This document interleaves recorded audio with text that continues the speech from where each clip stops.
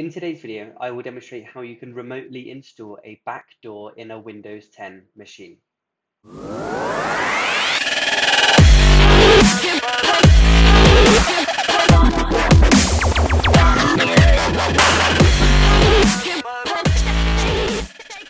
In today's video, we're going to be using MSF Venom and also Metasploit to penetrate our Windows 10 machine. What I'm going to be doing in this video is purely for educational purposes. On my Windows 10 machine, I have deactivated my firewall and I have turned off Windows Defender, which is why this hack is possible. The skills I'm demonstrating here is how you can use Metasploit and how you can use MSF Venom. Now, you can find out a little bit more about MSF Venom by having a look at what I'm just hovering my mouse around here. If you want to have a look at different tutorials we are recording as part of our ethical hacking program at Steam Labs, you can go to our domain here. If you want access to some of our lesson slides, do get in touch with us. To begin today's session, I'm going to be using this command here, and we're going to talk to you a little bit about how this command works. So MSF Venom is going to be the tool which we use to penetrate our Windows 10 machine. Now what we have here, along with the MSF Venom tool, we have specified our operating system, we have specified that it is using 64-bit architecture, and we've also specified the IP address which we are going to use when we create a backdoor into our Windows 10 machine, and also the port that it is going to be using. Now, there are different ways which we can do this. One of the ways is you could create a phishing email and try to fool somebody into downloading a PDF, a JPEG file, or maybe even a .exe file, which is a Windows executable file. In today's session, I'm going to be pretending to ask a user to install Google Chrome so typically when you download Google you get a chrome setup.exe file and this is what I'm going to use for the purpose of this educational video today. So inside my Kali Linux window I'm going to zoom in so you can see what I'm typing so it is nice and clear. And when I start typing in some of these commands here, you're going to see that I'm automatically prompted because I've used this command before.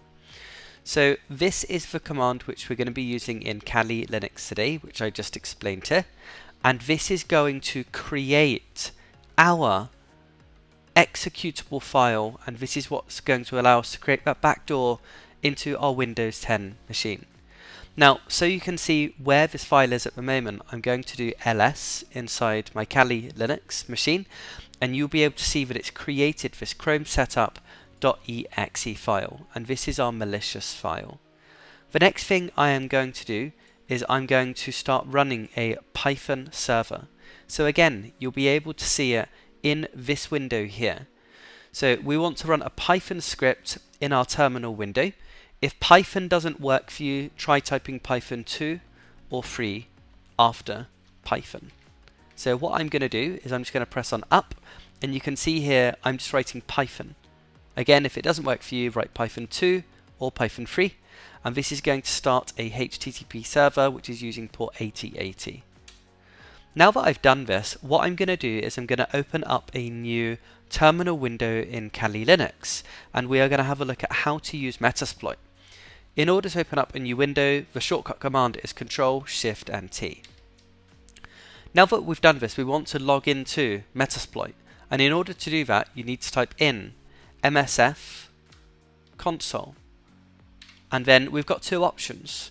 We can either load the main menu and it will present us with all of the different exploits and auxiliary options, or if you do hyphen Q, we will be able to see that it doesn't load with those options.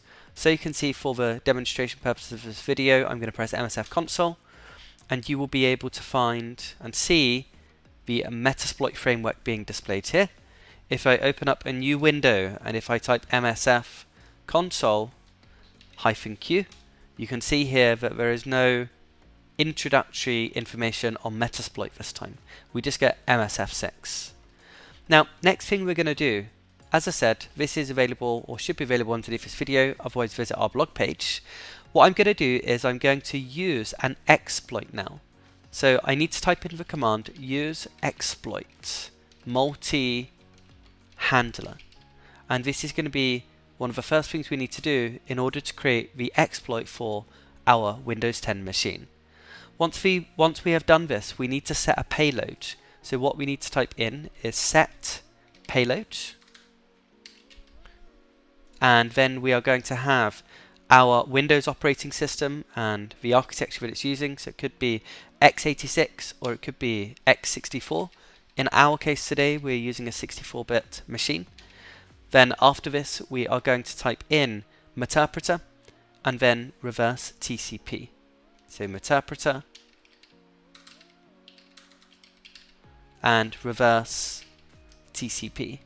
Now, unlike the other Kali commands which we're using here, we have to actually open up Metasploit so it doesn't remember the commands which we've used previously. Checking that my spelling is correct, I'm going to press on enter. And what we're going to do now is we're going to write the word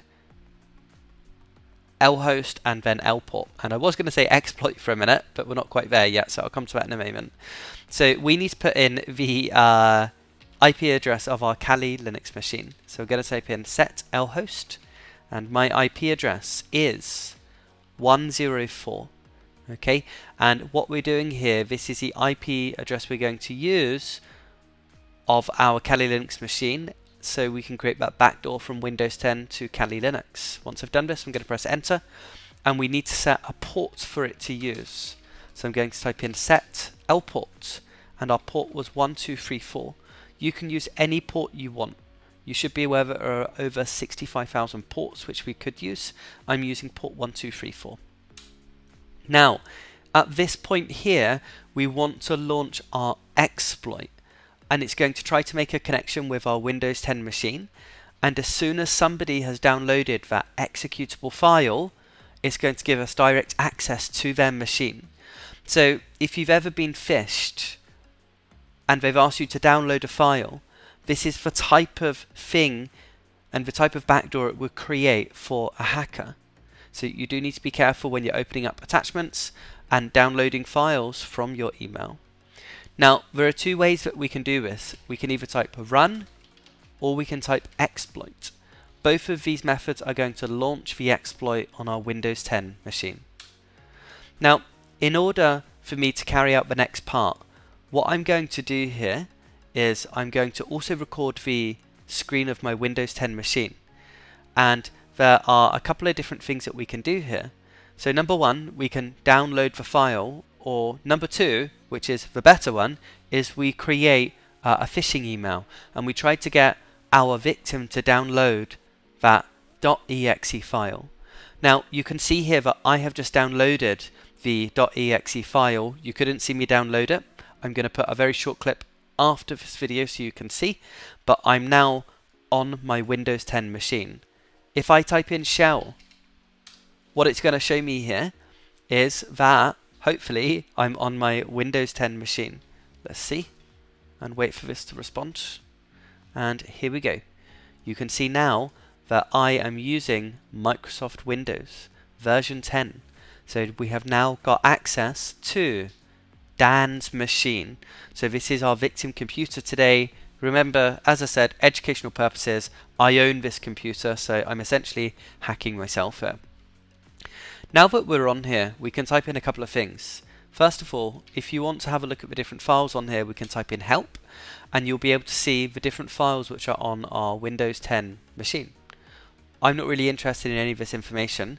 I'm going to type on exit, and what I'm going to do is type help again and this is going to launch the different tools which are available in Metasploit and these are the tools which are available for our hack today. So what we're able to do here is we are able to do things or carry out things like take a snapshot of a webcam. Uh, we're able to stream their webcam. Now these attacks are sophisticated but not as sophisticated as some of the attacks which you see online. When I run this command, we'll actually see the light turn on on the webcam, unfortunately. And we can also do another couple of things here. So what I can do is I can log what the person types on the keyboard here. So this is a keylogger.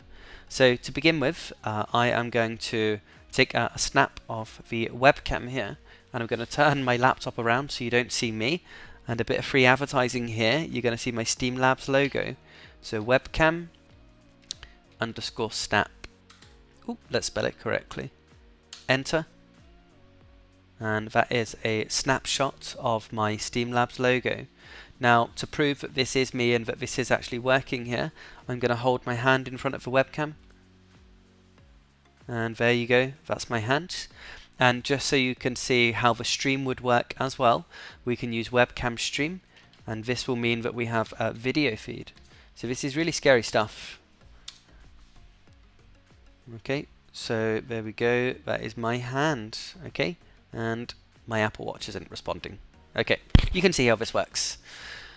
Okay, uh, next thing which we want to do here is we want to have a look at the keylogger. So if I type something on my victim computer, is it going to record what I write? So what I'm going to do here is, I never remember these commands, I need to look at the menu, I think it's key scan. So if I type on key scan, I'm going to make sure my Windows 10 computer is awake. And I'm going to type in key scan underscore start. Mm, something failed. Uh, Operation failed, incorrect function. Uh, it doesn't look incorrect to me. I'm going to run it again. Mm, okay, so apparently I am doing something incorrect. I'm going to try typing it the other way around. So start key scan. No, not a listed function. So uh, apologies for my errors here. Uh, key scan start does look correct. Okay, so I'm uh, going to try it one more time. And uh, Otherwise, I'll be coming back to this uh, a little bit later. So I'm just going to type, even if it fails, I'm going to type something. Okay, so it's failing. I'm not going to worry about that. On my uh, victim computer, I'm going to type, can you see this message? Oh, I made a typo. We're going to see that typo. And to end this, we're going to type in key scan underscore dump. And that's going to take the information from our victim computer back to this computer. And you can see here that uh, you can actually see my message. Okay, so uh, captured these keystrokes. Can you see this me me message? That's my error here. I accidentally wrote H. So we have now just successfully recorded the keystrokes on our victim computer. Hopefully after watching today's video, you now have a basic understanding of how you can create a backdoor into a Windows operating system for educational purposes. If you have any questions about any of the techniques which we have used today, please do get in touch and I look forward to seeing you in our next ethical hacking video soon.